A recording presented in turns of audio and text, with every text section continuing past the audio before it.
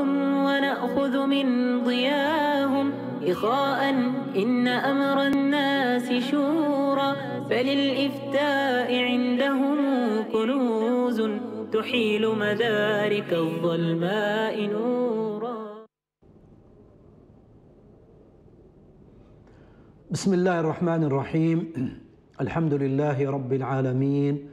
وصلى الله وسلم وبارك وأنعم على المبعوث رحمة للعالمين سيدنا ونبينا ومولانا محمد بن عبد الله الصادق الوعد الأمين وعلى آله وصحبه ومن استنى بسنته واهتدى بهديه واقتدى بشريعة بشريعة الله سبحانه وتعالى وشريعة نبيه صلى الله عليه وسلم إلى يوم الدين.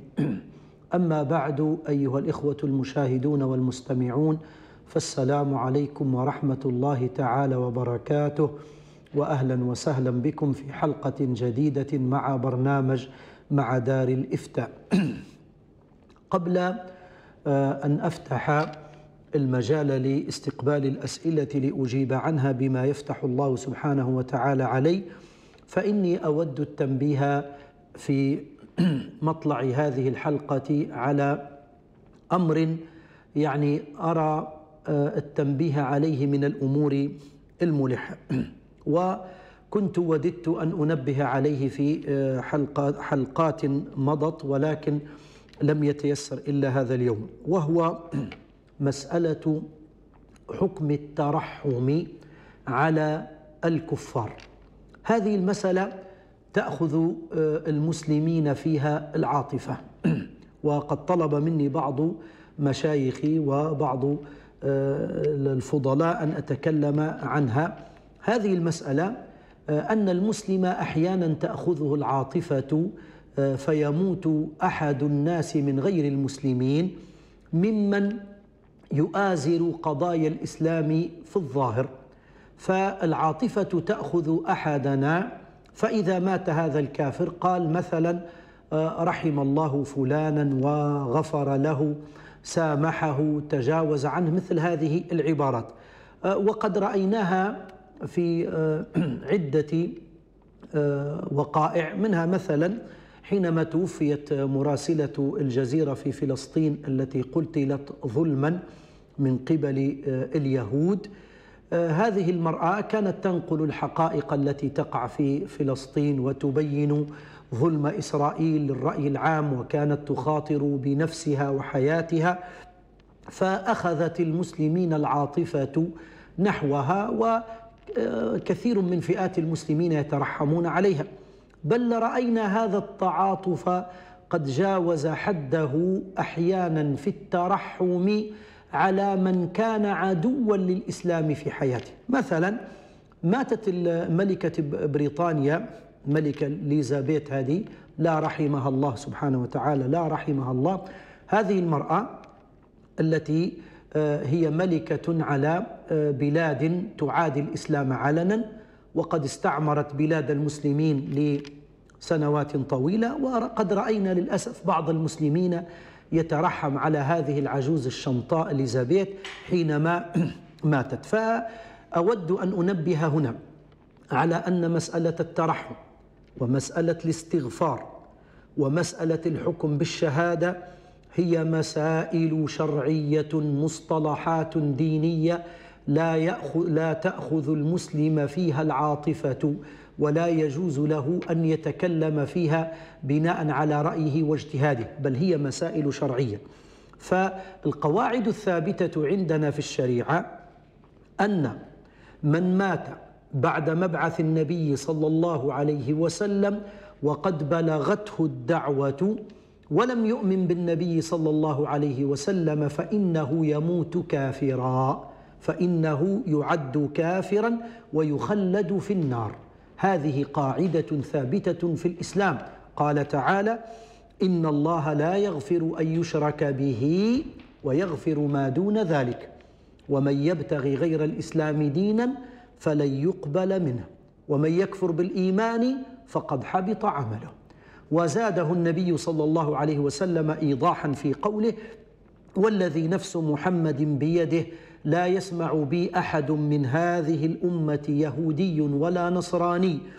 ثم يموت ولم يؤمن بالذي أرسلت به إلا كان من أصحاب النار. والحديث في صحيح مسلم. اذا يجب أن نعتقد اعتقادا جازما أن من بلغته دعوة النبي صلى الله عليه وسلم من كافة البشرية ولم يؤمن به فإنه يخلد في النار ويسمى كافرا. ولو صنع من المعروف ما صنع في الدنيا. وقد ذكرت النصوص القرآنية ونصوص السنة في هذا الأمر. القاعدة الثانية أنه لا يجوز لمسلم أن يترحم على من مات كافرا ولا أن يطلب له الاستغفار لأنه بهذا يكون آثما. كيف تترحم على كافر لم لن يقبل لم يقبل الله منه إلا الإسلام. ومن يبتغي غير الإسلام دينا فلن يقبل منه. من مات على يهوديته أو نصرانيته أو وثنيته ولو صنع ما صنع من المعروف بالمسلمين في الدنيا فإنه يوم القيامة يكون مخلدا في النار لأن دخول الجنة مرهون بشهادة أن لا إله إلا الله وأن محمد رسول الله وليس هو من أهل هذه الشهادة. الدليل على عدم جواز وعلى حرمة الترحم وعلى حرمة الترحم على الكافر الذي مات على كفره قول الله تعالى ما كان للنبي والذين آمنوا أن يستغفروا للمشركين ولو كانوا أولي قربى فقد نهى الله سبحانه وتعالى نبيه أن أن يستغفر ويترحم على الكفار. وبين الله له أن الترحم الحاصل على أو الترحم على المنافقين لن ينفعهم. قال استغفر لهم أو لا تستغفر لهم. إن تستغفر لهم سبعين مرة فلن يغفر الله لهم. وقد أمرنا الله تعالى بالاقتداء بإبراهيم الخليل عليه السلام في عداوته للكفار إلا في مسألة واحدة. فقال الله تعالى آه، قد كانت لكم إسوة حسنة في إبراهيم والذين معه. ثم قال إلا قول إبراهيم لأبي أي لكم إسوة في نبي الله إبراهيم الخليل في عدائه للكفار إلا في مسألة واحدة وهي استغفاره لأبيه الذي مات كافرا. فإنه لا يتبع إبراهيم عليه السلام في خصوص هذه المسألة. وبين الله عذر إبراهيم في قوله تعالى وما كان استغفار إبراهيم لأبيه إلا عن موعدة وعدها إياه فهو قد وعد أباه في أن يستغفر له فوفى بوعده وبين الله تعالى له أنه لن ينفع أباه هذا الاستغفار الذي حصل منه. اذا أيها الناس لا يجوز الترحم على الكافر لا يجوز الاستغفار له ومن باب أولى لا يجوز إطلاق لفظ الشهادة. فهذه مثلا مراسلة الجزيرة في فلسطين التي توفيت منذ أشهر آه، وإن كانت تنقل الحقيقة وسيأتي ذكر هذا. لكن هل يجوز إطلاق الشهادة؟ هذا أمر لا يجوز. إذا كان الترحم غير جائز على الكافر فإن إطلاق الشهادة عليه محرم من باب أولى. لأن الشهادة لفظ شرعي منضبط بضوابط لا تنفع فيه العاطفة ولا يجوز تمييع النصوص. فلننتبه لهذا. رب قائل يقول الآن أين إنصاف الإسلام لهؤلاء الذين يقفون مع قضايا المسلمين؟ نحن نعلم أن هناك حتى بعض القساوسة وبعض الرهبان وغيرهم ينصفون الإسلام فكيف أنصفهم الإسلام؟ أقول اولا إنصاف الله تعالى للكفار الذين لم يعادوا الإسلام. أنصفهم في الدنيا بأن جعل رحمته في الدنيا شاملة للمسلم وغير المسلم. ورحمة الله في الدنيا تشمل المسلمين وغير المسلمين على السواء. ومثلا قال تعالى آه، وهو الذي يرسل الرياح نشورا بين يدي رحمته. فالرياح التي تجلب الأمطار هي تأتي للمسلمين فتنفعهم وتأتي لغير المسلمين أيضا فتنفعهم. وبالتالي فرحمة الله هنا عمت المسلمين وغير المسلمين. أيضا مثلا آه، تعاقب الليل والنهار هو رحمة بالعباد مسلمهم وكافرهم. قال تعالى ومن رحمته أن جعل لكم ومن رحمته جعل لكم الليل والنهار لتسكنوا فيه ولتبتغوا من فضله. بل بين الله تعالى لنا أن من يريد الدنيا دون الآخرة ويرتضي الكفر دينا فإن الله يعطيه في الدنيا ما يريد لكنه يوم القيامة يكون مخلدا في النار. قال تعالى من كان يريد العاجلة عجلنا. شن العاجلة؟ الدنيا. من كان يريد العاجلة عجلنا له فيها ما نشاء. تمام. من الإنصاف أيضا من إنصاف الشريعة لغير المسلمين في الدنيا أن الله تعالى حفظ لهم حقوقهم وجوز الثناء عليهم بهذا الصنيع. فمثلا أنا خديت قضية مراسلة الجزيرة في فلسطين خديتها مثال يجوز لنا مثلا أن نقول هذه المراسلة كانت تقول الحق كانت شجاعة كانت آه، تبين الحقائق. هذا من الثناء الذي لم ينهى الله عنه. قال تعالى لا ينهاكم الله عن الذين لم يقاتلوكم في الدين ولم يخرجوكم من دياركم أن تبروهم وتقسطوا إليهم. لا بأس أن الإنسان يبين المعروف الذي كان يفعله الكافر في الدنيا ويبين فضله ويذكر له هذا الجميل وهذا الفضل دون ترحم ولا استغفار بل مع يقين أن هذا المعروف أخذه في الدنيا وأنه يوم القيامة مخلد في النار. والدليل على جواز الثناء وذكر فضل الكافر الذي آه، قال آه، أو نصر الإسلام أو تعاطف معه في الدنيا أن النبي صلى الله عليه وسلم قال يوم بدر في غزوة بدر حينما أتي بالأسارى من المشركين قال لو كان المطعم بن عدي حيا وكلمني في هؤلاء النتنا لأعطيتهم لأعطيتهم إياه. المطعم بن عدي كان كافرا لكنه آوى النبي صلى الله عليه وسلم وحماه حين رجع من الطائف فلم ينسى النبي صلى الله عليه وسلم هذا الفضل للمطعم ولم يقل رحمه الله ولا غفر له ولا كذا وإنما ذكر له معروفه الذي صنعه معه. أيضا هذا الكلام وقع حتى مع آه، ورد في آه، في بعض الأحاديث حتى في حق آه، حاتم طيء الذي كان اشتهر بالكرم وفي حق عبد الله بن جدعان. فالنبي صلى الله عليه وسلم أثنى على كرم حاتم وذكره الحديث في مسند الإمام أحمد وقصة عائشة في حين سألت النبي صلى الله عليه وسلم عن عبد الله بن جدعان. هذا هو الإنصاف. قال تعالى وإذا قلتم فاعدلوا. فنحن الخلاصة كل من يقف مع قضايا الإسلام من الكفار فإننا نذكر له هذا الجميل وهذا الموقف ونحسبه له في الدنيا نكافئه عليه في الدنيا. أما إن مات غير موحد فإن عقيدتنا التي لا تتزحزح ولا تتغير ولا تتبدل أنه يوم القيامة يكون مخلدا في النار لأن الله تعالى جعل الإسلام شرطا لدخول الجنة. ومن يبتغي غير الإسلام دينا فلن يقبل منه. فالخلاصة أرجو التنبه لمثل هذا الأمر. هذه مصطلحات شرعية. لا يجوز للإنسان أن يتعاطف وأن يخرج عن دائرة الشرع فالعاطفة عندنا منضبطة ومقيدة بالشرع. هذا ما أردت آه، قوله وأستقبل الآن آه، اتصالاتكم لأجيب عنها على أرقام هواتف البرنامج 021 360 صفر واحد صفر واحد صفر واحد وعشرين تلتمية وستين صفر واحد صفر اثنين صفر واحد وعشرين تلتمية وستين صفر واحد صفر ثلاثة كما يمكنكم أيضا متابعتنا على البث المباشر على صفحتنا في اليوتيوب. كذلك يمكنكم الاتصال بنا أو مراسلتنا عبر الفايبر على الأرقام الظاهرة أسفل الشاشة. نعم. من معنا؟ عبد الله من طرابلس. السلام عليكم يا شيخ. عليكم السلام ورحمة الله. حياك الله وبارك الله فيك في دار الإفتاء. أهلا وسهلا بك سيد عبد الله تفضل أي آه، أنا قلت والله قلت يعني سؤالي على الموقع نتاع الدار على هذا الموقع على التطبيق هذا نتاع دار الإفتاء. نعم. لكن تأخر الرد ربما يعني حتى لكثرة الأسئلة وقلة طيب. الكادر الوظيفي كما أكدتم يعني. نعم.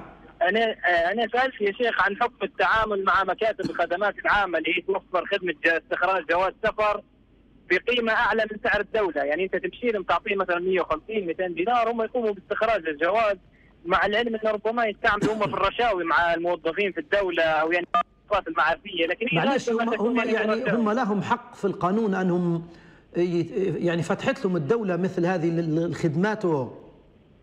لا أنا أنا مواطن بنستخرج لا أنا منهم عارف. أنا مانيش أنت مواطن مكتب. بتمشي أنت بتمشي لل... هل إيه. الدولة عاطيتهم مثل هذه الخدمات؟ والله هي قرطاسية وخدمة عامة وهو يمشي يقوم بهذا الأمر.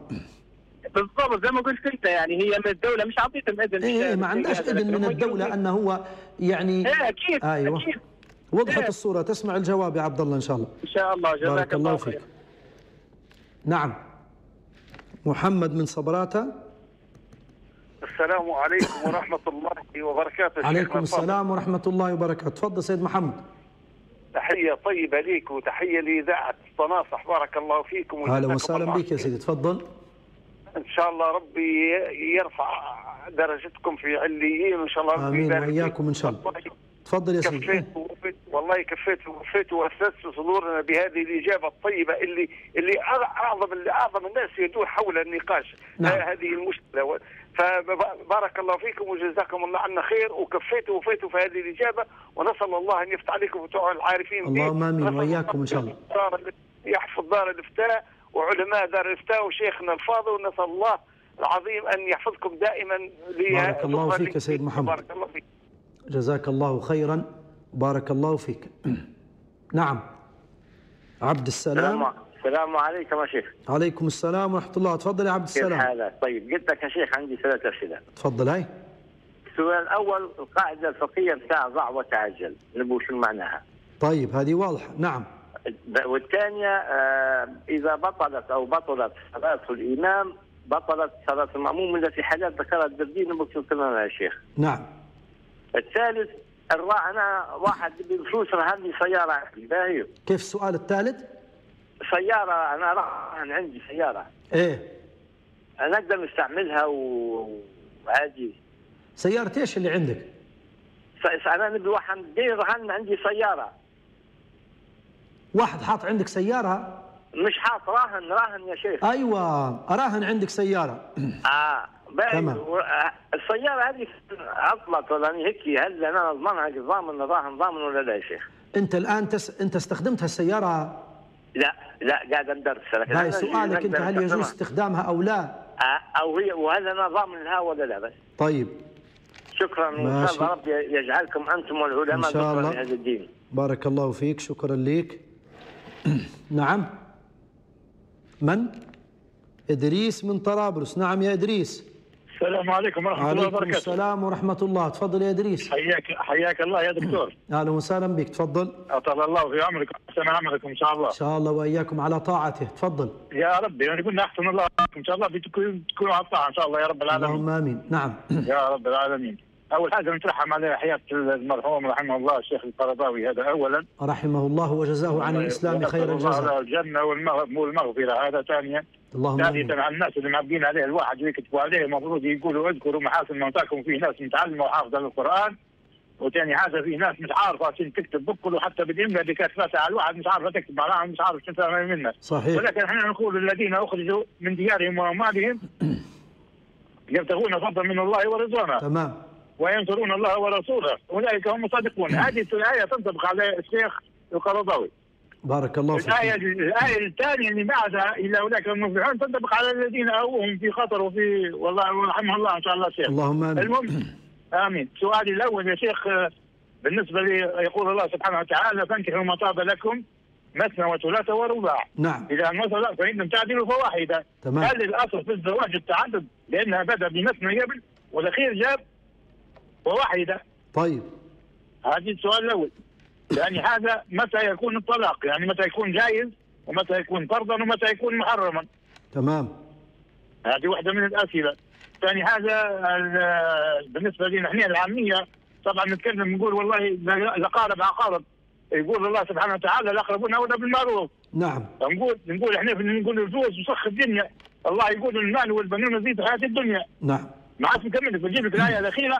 نقولوا إحنا في العامية ما لا يحمد عقبه والحمد سبحانه وتعالى سواء كان عن شر ولا على خير تحمد الله سبحانه وتعالى.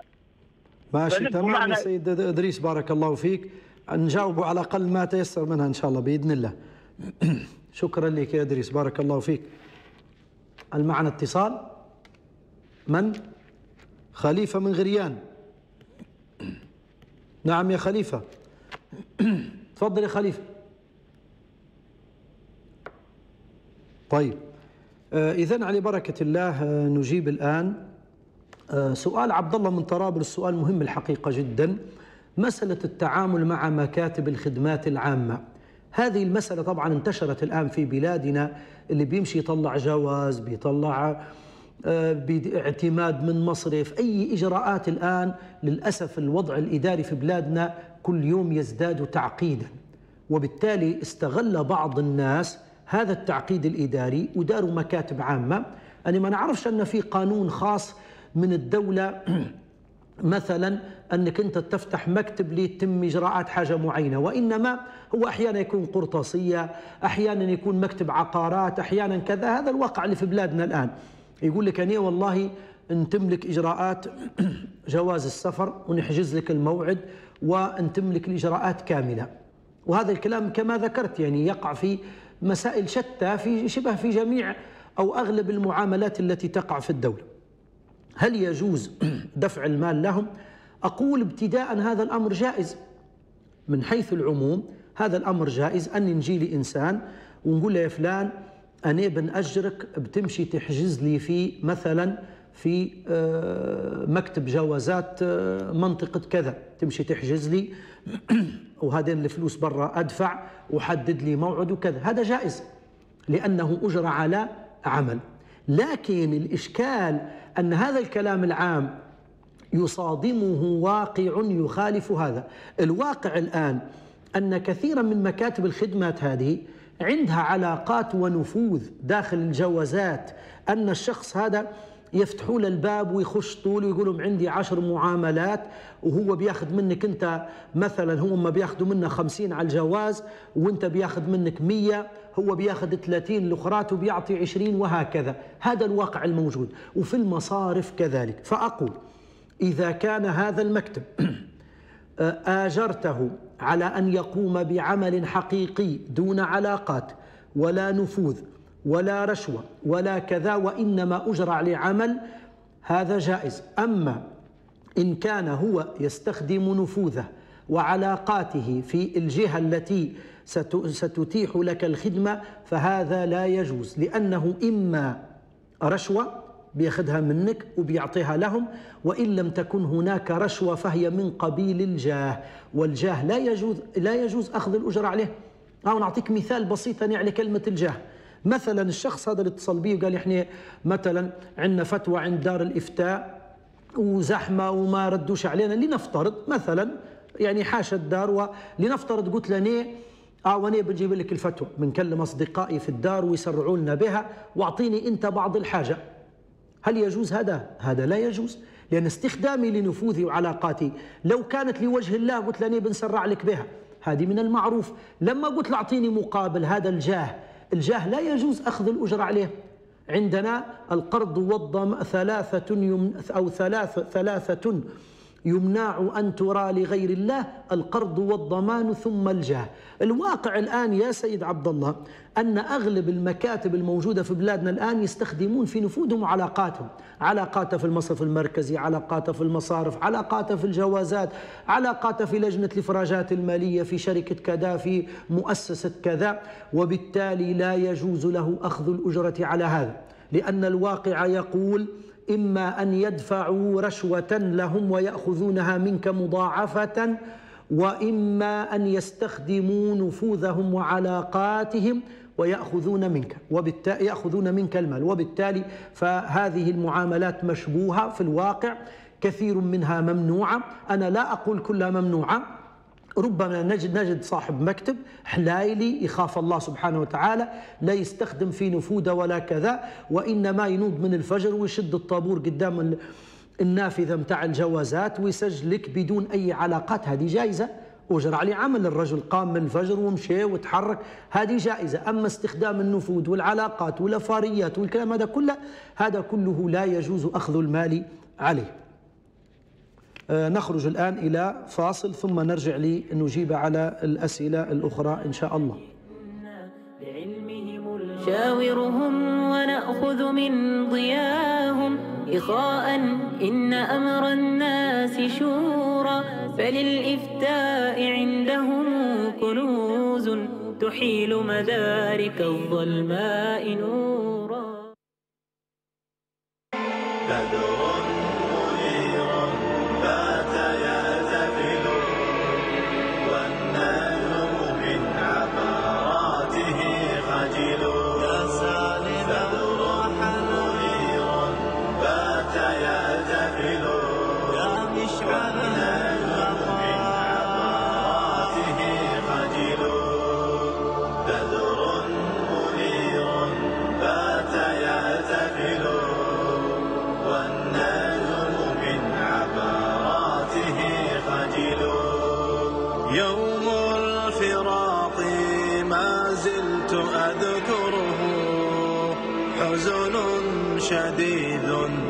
بالقلب يشتعل. يوم الفراق ما زلت أذكره. حزن شديد بالقلب يشتعل. يوم حزين لكني أحسبه. يوم عظيم من بعده أمل.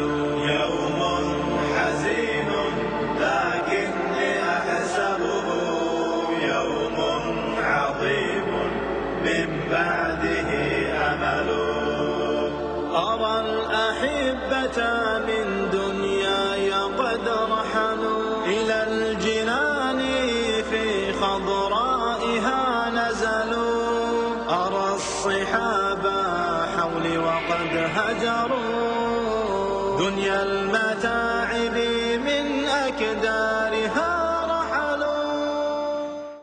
نشاورهم ونأخذ من ضياهم.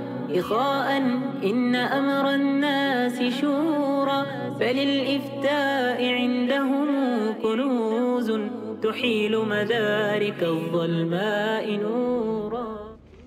السلام عليكم ورحمة الله. عدت إليكم بعد الفاصل لأجيب على ما تبقى من الأسئلة. إذا أجبنا على سؤال عبد الله. معنا محمد من الخمس. نعم يا محمد. السلام عليكم ورحمة الله. عليكم السلام ورحمة الله. تفضل يا محمد. الله قطعت قلوبنا بمنظر الشيخ نادر. الله يرحمه ويغفر له. رحمه الله وغفر له. تقبله في الصالحين. وانتقم من. قاتليه. تفضل يا شيخ. والله أنا عندي شيخ إحنا كنا في حالة سفر نسلك سوا كنا في حالة سفر. نعم. وجم... وخشينا لمسجد وجمعنا وقصرنا في صلاة جماعة يعني. طيب. فأنكر علينا أحد الناس يعني مش معلش عاود. كيف كيف سؤالك أنت شدرت إحنا في سفر في سفر خارج ليبيا أنا في سفر. طيب إيه. خشينا مجموعة إحنا أربع أنفار صلينا جمع وقصر ظهر وعصر. اقصرت الظهر والعصر ماشي. وجمع وفي صلاة جماعة يعني جمعناهم. يعني أميت بيهم أنا وصلوا معي باقي الجماعة. طيب اللي صلوا معاك من المقيمين ولا المسافرين اللي معاك فقط؟ لا اللي مسافرين معي فقط. أيوه تمام. ماشي فأنكر المسافر علينا القيم في المسجد أنكر علينا قال هذا إمام هذا مسجد وفي إمام راتب ما يجوز. لكمش تجمعوا صليتوا كل واحد بروحه وخلاص. بالتفصيل فعلا الفائده العامه يعني شيخ. أنكر عليكم هو الصلاة داخل المسجد. امم أنكر علينا صلاة الجماعة قال صليتوا كل واحد بروحه. إيه إيه تمام تمام. ماشي تسمع قال في الجواب. إمام راتب لا يجوز لكم أنكم تجمعوا. ماشي تسمع الجواب إن شاء الله. بارك الله جزاك فيك الله خير ربي إن يعاونكم إن شاء الله. وإياكم يا سيد محمد بارك الله فيك. نور الدين من مصراتة. السلام عليكم يا شيخ. عليكم السلام ورحمة الله. تفضل يا نور الدين.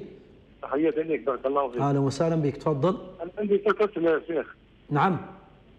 عندي ثلاث أسئلة بدك من بالله بسرعة. تفضل. أي. آه، كيفية التخلص من عشر من الشعر الزايد الجسم؟ جسم الإنسان التخلص منه؟ هل برميه في المرحاض أو شنو؟ في طريقة ثانية؟ آه تخلص من الشعر. طيب السؤال الثاني. هل- لمن اكل ثوم أو بصل بعدم الذهاب إلى المسجد قضاء صلاة الجماعة كيف؟ معلش سؤالك؟ يرخص هل يرخص يمكن اكل ثمنا أو بصلا بعدم الذهاب إلى المسجد لصلاه صلاة الجماعة؟ تمام يرخص في عدم الذهاب للمسجد بسبب إيش؟ أكل الثوم والبصل. آه بسبب أكل التوم والبصل. ماشي تمام. السؤال الثالث؟ السؤال الثالث آه، بالنسبة في عند الشباب هي حكم حكم السباع. حكم؟ تربيه السباع الاسود والنمور حكم تربية السباع. ماشي. تمام إن شاء الله. بارك الله فيك سيد نور بالله في بالله لو سمحت يا دكتور. نعم. أنا في القضية في قضية عندنا واحد يعني في مطرات يمكن سمعتوا بها قضية الإعدام اللي مرتد هذا حكم الردة الله نسمع فيك بصعوبة يا نور الدين. ما شاء الله. حكم حكم الردة حكم الردة يا شيخ آه حكم الردة للشخص هذا اللي سمعنا به. نعم إيه بالضبط بالله في شباب يدافعوا عليه وفي كذا. نبي نفهم أنا حكم قال الناس ماشي ماشي. تمام يا نور الدين. بارك الله فيك. هاي ماشي. لعلنا نكتفي بهذه الأسئلة لأن آخر اتصال. هاي من؟ أم البشير. نعم. نبي نسألك شيخ على حكم الدم بعد انتهاء أيام الدورة. حكم إيش؟ حكم نزول الدم بعد انتهاء أيام الدورة. والله ما سمعتكش الأس... حكم؟ نزول الدم بعد انتهاء أيام الدورة. آه تمام. يصلي به عادي يعني الآن يعني الآن انقضت الدورة وطهرت ثم نزل الدم أيوة. وقبل باي. هيك كويس. نزول الدم نزول الدم بعد الطهر بكم؟ في نفس اليوم ولا بعد أيام كثيرة؟ بعد بعد؟ بعد كم؟ ماشي تمام. تسمعين الجواب إن شاء الله. نعم نعم. ماشي يا أم البشير أنا نفصل في الموضوع إن شاء الله بإذن الله. بارك الله فيك. إذا نجيب على بركة الله. أجبنا على سؤال السيد عبد الله من طرابلس. محمد من صبراتة يعني فهو يثني على القناة وعلى العاملين فيها. بارك الله فيه وجزاه الله خيرا. عبد السلام من مصراتة قال نبي نسأل على قاعدة ضع وتعجل هذه قاعدة من قواعد الربا المعروفة عند المالكية. أنا الآن بنبسطها يعني بمثال حسب المقام. ضع وتعجل ضع وتعجل مثلا يا عبد السلام أنا أنت أنت اقترضت مني مئة دينار. تمام؟ خديت مني مئة دينار سلف وقلت لي آه، يا شيخ راني نيب نخلصك فيها في رمضان القادم. إن شاء الله. ما تك... الآن أنا ما نقدرش قبل شهر رمضان لا أستطيع أن أقول لك سدد لي المئة لأن أجل التسليم متى؟ في رمضان. وأنا مثلا احتجت لهذه المئة قبل رمضان فأتيك وأقول لك يا عبد السلام ما رأيك أن تسدد لي المئة دينار في شعبان قبل رمضان؟ تقول لي يا شيخ كيف؟ نحن متفقون في شهر رمضان. فأقول لك بدل المئة أعطني تسعين فقط وادفعها لي في شعبان. كلمة ضع أي أنزل من الثمن الأصلي الثمن الأصلي كم؟ مئة. ضع خليه تسعين. وتعجل ادفعه لي قبل الأجل. فهذه عند المالكية من قواعد الربا. أي أنقص لي من الثمن الذي بيننا مقابل إيش؟ مقابل تعجيل مقابل تعجيل الدفع. فهو يؤول قاعدة ضع وتعجل تؤول إلى مسألة القرض الذي يجر نفعا وجاء في الأثر كل قرض جر نفعا فهو ربا. فهذه قاعدة ضع وتعجل. وهذه القاعدة راهي موجودة مش مجرد كلام فقهاء يعني في الكتب هذه موجودة الآن في كثير من تعاملات الناس وأغلب الحيل أو كثير من هذه الحيل التي يعملها التجار بعضها يدخل تحت قاعدة ضع وتعجل أي, أنز أي أنقص لي من الثمن مقابل أن أعجل لك بالسداد. فهو آل إلى سلف جر منفعة. أيضا يسأل عليه القاعدة الفقهية كل صلاة بطلت على الإمام بطلت على المأموم. هذه كلية فقهية. إذا بطلت صلاة الإمام فإن المأموم تبطل صلاته تبعا لبطلان صلاة إمامه لأن آه، صلاة المأموم هي في الأصل تابعة لصلاة الإمام. إلا في مسائل. طبعا المشتهر عندنا كل صلاة بطلت على الإمام بطلت على المأموم إلا في سبق الحدث ونسيانه. ولكن ذكر متأخرو المالكية مسائل أخرى وأعتقد أنها مجموعة تقريبا ثلاث عشرة مسألة.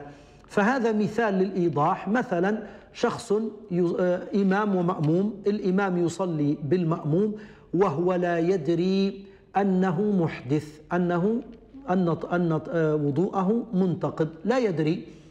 مجرد ما يتذكر أن أنه على غير طهارة بطلت صلاته بمجرد التذكر ويجب عليه الخروج من الصلاة آه، ويستخلف من خلفه. فالمأمومون الذين خلفه صلاتهم صحيحة يستمرون في صلاتهم بإمام جديد وهذا الإمام بطلت صلاته ولم تبطل صلاة المأمومين خلفه. طيب هذا يعني هكذا مجرد مثال للإيضاح وإلا فالمقام فيها يطول. السؤال الثالث قال أنا آه، أخذت سيارة من شخص على سبيل الرهن مثلا شخص تسلف مني عشر ألاف دينار و فأنا قلت له من يضمن أن ترجع لي هذا المال؟ قال هذه السيارة رهن. أخذت السيارة رهنا. هل يجوز لي أن أستخدم هذه السيارة؟ يجوز لي أن أستخدمها بإذنه بدون إذنه لا يجوز استخدامها. وإن أذن لي بذلك فيجوز أن أستخدمها أنا. أما هو الشخص الراهن لا يجوز له أن يستخدم السيارة وهي في يد المرتهن لأن جولان يده في الرهن مما يبطل الرهن. لكن المرتهن يجوز له أن آه، أن يستخدمها بإذن الراهن. نعم. إدريس من طرابلس له عدة أسئلة في الحقيقة. أولا هو تكلم على فضيلة الإمام الشيخ القرضاوي رحمه الله وقال إنه ساءنا ما قد رأيناه من سب بعض الناس له ومن نحو ذلك. فأقول الشيخ القرضاوي رحمه الله بذل ما بذل وهو رجل من علماء الأمة ويعني آه، لا مسألة عدم الترحم عليه لا تضره شيئا الآن في قبره. فالرجل بقيت آثاره بعد وفاته له مؤلفات بالعشرات. الآن الذي آه الذين يسبون الشيخ القرضاوي الكلام العام كل حد يقدر يقوله. كل حد يقدر يقول الله يرحمه والله لا يرحمه. هذا كل كلمة بيقولها الإنسان يحاسب عليها. ولكن الآن آثار القرضاوي شاهدة له. فأين آثارك؟ أو أردد على كتبه بعلم إن كنت من أهل العلم. أما تجي تقول لي تلقط لي بعض الأخطاء فالشيخ القرضاوي ما هو إلا علم من العلماء. والإمام مالك ذكر قاعدة مشهورة ما منا من أحد إلا راد ومردود عليه. كل يؤخذ من قوله ويرد. فالرجل اجتهد في بعض المسائل رد عليه بعض أهل العلم فيها. وما نقصت من قدره ولا فضله ولا علمه فكتبه وآثاره شاهدة. شاء من شاء وأبى من أبى. رحم الله الشيخ قرضاوي. وجزاه عن الإسلام خير الجزاء. رجل عاش لأمته لم يداهن في دينه. نحسبه كذلك. والله حسيبه. لم يجامر الحكام. دفع ضريبة جهاده. دافع عن فلسطين. آه، رفع راية الإسلام. ولكنه بشر من البشر. لا آه، ليس معصوما. إذا كان الأئمة الكبار لهم أخطاء وقعوا فيها حتى الأئمة مالك في بعض المسائل رد عليه حتى تلاميذه وضعفوا قوله في مسائل وأخذوا بقول ابن القاسم مثلا فما ضره ذلك. ومن باب أولى لا يضر هذا القرضاوي ولا غيره. من علماء أهل السنة والجماعة رحم الله مشايخنا وعلماء الإسلام وجزاهم عما قدموا للإسلام خير الجزاء. السؤال الآخر لإدريس قال قول الله تعالى فانكحوا ما طاب لكم من النساء مثنى وثلاث ورباع. آه، ثم قال الله تعالى فمن لم يستطع أو الآية راحت مني فواحدة. تمام. الآن يسأل هل الأصل التعدد في النكاح أو لا أقول هذه مسألة خلافية. من قال الأصل التعدد فبنى قوله على هذه الآية فانكحوا ما طاب لكم من النساء مثنى وثلاث ورباع. نعم والمسألة يعني حتى لو فرعنا على أن الأصل التعدد أو الأصل عدم التعدد فهذا لا يترتب عليه شيء لأن التعدد أثبته القرآن وعمل به النبي صلى الله عليه وسلم وهذا مما علم بالقرآن لا يجوز للإنسان أن ينكر مسألة التعدد. ومن أنكر وجود التعدد الزوجات في الإسلام فقد أنكر آية من القرآن وهي قول الله تعالى فانكحوا ما طاب لكم من النساء مثنى وثلاث ورباع وهذا آه، كلام كفر والعياذ بالله. يسأل إدريس أيضا عن أحكام الطلاق. الطلاق تعتريه الأحكام الخمسة. وهذه مسألة تكلم عليها الفقهاء. الأصل في الطلاق أنه جائز لكنه ليس جوازا مستويا.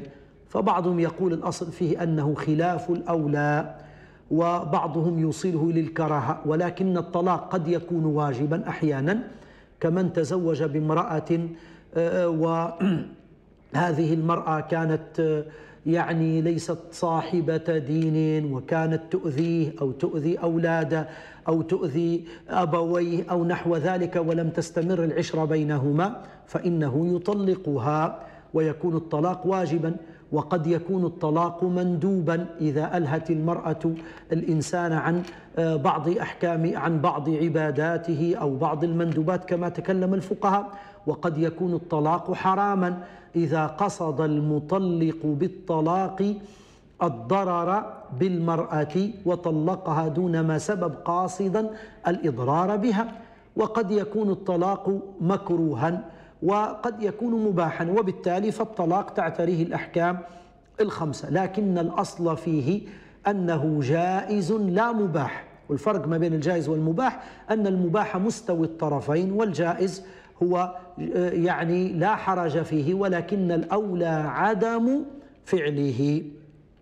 فطلاق كل شخص حكمه على حدة. كل شخص طلاقه حكمه خاص به على حسب نيته وعلى آه، حسب حاله. ولا يجوز إطلاق أحكام عامة في هذا الأمر على حالة بعينها. آه، دريس أيضا قال بعض المسائل يقولوا فيها العوام عندنا فيها إشكالية. قال يقولوا مثلا الأقارب كالعقارب ورب يقول اقربون مثلا أو مثلا واعبدوا الله ولا تشركوا به شيئا وبالوالدين إحسانا وبذي القربى. أقول يعني كلام العوام لا يقصدون راو به مخالفة ولكن يقصدون به أن الحساسية بين الأقارب أكثر. لكن مثلا لو يسألني إنسان يقول لي أي نفضل الصدقة في القريب ولا البعيد نقول الصدقة في القريب أو لا لأن النبي صلى الله عليه وسلم قال الصدقة على ذي الرحم ثنتان صدقة وصلة رحم وقال أفضل الصدقة على ذي الرحم الكاشح. فعبارات العوام وأمثال الناس آه، إن وجد لها مخرج فلا بأس بها. إن صادمت نصوص الشريعة فإنه لا يجوز حينئذ آه، ذكرها ولا الاستشهاد بها. آه، محمد من الخمس قال إحنا مسافرين خارج ليبيا. جمعنا الظهر والعصر نحن في سفر قصرا وجمعا. قال اعترض علينا قيم المسجد وقال الأولى أن تجمعوا خارج المسجد. آه، لكلامه وجه نعم الإنسان آه، إحنا عندنا قاعدة لا يجوز آه، صلاة الجماعة أو تكرار أو يعني ورد النهي عن تكرار الجماعة داخل المسجد الذي له إمام راتب حتى لا يكون ذلك مدخلا للطعن في الإمام وأن لا يصلي بعض الناس خلفه. الأولى لكم يا محمد أن تقصروا أو خلينا نعبروا أن تصلوا الجماعة خارج المسجد. صلوا في رحبة المسجد وخاصة أنكم أنتم عندكم قصر لأن حتى تبتعدوا عن الطعن في الإمام كذلك يترتب عليه إشكالية أخرى. أن جمعكم داخل المسجد أنتم أحيانا في صلاة العشاء يدخل إنسان يتوقع عنكم في صلاة المغرب فيصلي خلفكم ظانا أنكم في المغرب وأنتم في الحقيقة في صلاة العشاء. فقد صدق القيم فيما دعاكم إليه الأولى للجماعة الذين يمرون بالمساجد التي فيها أئمة راتبون. أما مساجد الطرقات فقد نص العلماء على جواز تكرار الجماعة بها. المساجد اللي هي معروفة على الطرقات. زي الآن أشبه ما تكون بالمساجد الملحقة عندنا بالمطاعم والفنادق وأماكن الراحة فهذه في الغالب ليس فيها إمام راتب كل جماعة يجمعون. أما المساجد التي فيها إمام راتب فالمالكية من باب سد الذرائع كرهوا تكرار الجماعة بها وقالوا من أراد أن يصلوا إذا أراد الناس صلاة الجماعة آه، لسفر وجمع ونحو ذلك فالأولى أن يصلوها في رحبة المسجد حتى يعرف الداخلون أنهم قوم سفر وأنهم ليسوا آه، من أهل هذا المكان. آه، نور الدين من مصراتة قال التخلص من الشعر. إحنا عندنا خصال الفطرة مثلا عندنا قضية الاستحداد وإزالة شعر الإبط ونتف الإبط والعانة وغيرها. الشعر الزائد بصفة عامة سواء كان من شعر الرأس أو من شعر آه، الجسم وشعر الوسط. قال كيف يكون التخلص منه؟ التخلص منه بوضعه أين شاء الإنسان. يعني فهذا من القاذورات ليس نجسا لكنه من القاذورات حكمه حكم الأظافر والأولى الإنسان ألا يرميه هكذا حتى لا يؤذي الناس به فيضعه في القمامة ولا بأس. تكلم الأقدمون على مسألة دفنه في الأرض. قالوا هذا أولى شيء أن الشعر الزائد والأظافر والحاجات هذه الأولى الإنسان أن يدفنه في الأرض. هل هو نجس؟ ليس نجسا. شعر الإنسان طهر بل شعر الحي كله. الطاهر الحي وشعره ودمعه وكذا ومخاط وده كله. آه، من الطاهرات. ولكن لما كان مما يتأذى به الناس وخاصة للأسف مثلا, مثلا زي الأظافر فيه للأسف يقلم الأظافر ويتركها في على الفراش وفي أماكن الناس فهذا مما يتأذى الناس منه. فتخلص أنت منها بأي طريقة بشرط ألا تؤذي آه، من معك في البيت أو في المجلس. آه، سألنا عليه مسألة من أكل ثوما أو بصلا هل يرخص له؟ نعم يرخص له في آه، عدم الذهاب للمسجد. بل نحن نمنعه من الذهاب للمسجد. لما ورد في الحديث من أكل ثوما أو بصلا أو كراثا فلا يقربن مسجدنا. أو كما قال صلى الله عليه وسلم يقاس عليها كل من أكل آه، شيئا ذا رائحة كريهة. يقاس عليها التدخين فرائحته نتنة. للأسف الآن الإنسان يدخن ويخش للمسجد طول ويقعد يكح في الصلاة ويطلع في الهواء وجاره ومن بجواره يتأذى.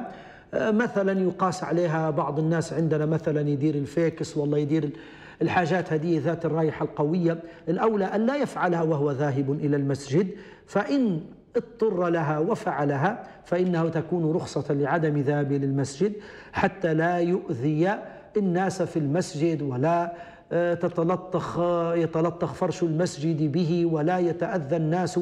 ومسألة التوم والبصل والكرات شدد فيها النبي صلى الله عليه وسلم. وذكر الفقهاء في المرخصات وقال عمر رضي الله عنه أيها الناس إني أراكم تأكلون شجرتين ولا أراهما إلا خبيثتين فأميتوهما طبخا. وذكر الثوم والبصل وكما ذكرت يقاس عليها كل رائحة كريهة آه، تقع. كذلك أيضا حتى مسألة العرق الشديد. الإنسان اللي مثلا بالعامية إحنا نقول يعني كثير العرق ومثلا ما عنداش مزيل والله ما لقاش كيف ينظف فما يمشيش للأسف. وهذا للأسف يعني الآن في اللي وانت تصلي في جنبه أنت قريب تختنق تكاد أن تفقد آه، عقلك والله يصيبك الدوار بسبب العرق والرائحة الكريهة. فكل من تلبس برائحة كريهة المطلوب منا أن يزيلها ثم يذهب إلى المسجد. فإن لم يتيسر له إزالتها فلا يذهبن إلى المسجد ويؤذي الناس بهذه الرائحة الكريهة. آه، نور الدين أيضا يسأل على حكم تربية السباع. السباع اللي هي زي الفهد والنمر وغيرها هذه كره العلماء تربيتها. طبعا أما حكم أكل لحمها فعندنا مشهور المذهب الكراهة وعندنا قول قوي في المذهب بالتحريم. أما تربيتها فإنها من الملهيات التي ينبغي للإنسان ألا يفعلها لأن ما الفائدة منها؟ لا توجد أي فائدة. وقد تكلم العلماء عليه هذه المسألة حتى في حكم تربية القرد أجل الله السامعين وغيرها. الأولى الإنسان فإن يعني ألا يفعل ذلك. إنها من الملهيات وللأسف يعني الآن أصبح ربما يصل الأمر حتى للتحريم. الآن في اللي يدير في أسد ونمر نمر وفهد وغيره ويقعد يمشي به في الحدائق وعلى الشواطئ وفي المتنزهات. هذا من ترويع المسلمين. النبي صلى الله عليه وسلم قال لا يحل لمسلم أن يروع مسلما. ولكن إذا كان هناك مقصد من ذلك وله حكمة وله أثر طيب ومثلا مما أجازه الإسلام فلا بأس. لكن إحنا كما ذكرت بل إحنا الآن نشوف فيه هو ذكر قال الآن انتشر في عندنا في بعض المدن إحنا شفناه حتى بروحنا. في اللي من جماعة الكتايب وغيرها يجي يحط لك أسد في كوفن السيارة ويقعد ماشي به كل من يشوفه يهرب حتى من بعد كيلومتر. فهذا من ترويع الناس يعني وهذا كل من من الملهيات التي ليس لها نفع ولا بل ضررها أكبر من نفعها. أيضا تكلم نور الدين على مسألة ال- الردة آه، هو انتهى ال- الوقت للأسف. فمسألة الردة يا سيد نور الدين للأسف هذه مسألة تحتاج إلى الوقوف عندها والعياذ بالله. تلك ذلك الشخص الذي ذكرت ردته. فأعتذر ولعلنا نجيب عليها إن شاء الله في حلقة قادمة. انتهى وقت البرنامج فما كان من صواب فمن الله وما كان من خطأ فمني ومن الشيطان وبروا إلى الله منه. حتى التقي بكم في حلقة جديدة بإذن الله. السلام عليكم ورحمة الله وبركاته. فللإفتاء عندهم كنوز تحيل مدار شاورهم ونأخذ من ضياهم. إخاء إن أمر الناس شورى فللإفتاء عندهم كنوز تحيل مدارك الظلماء نورا.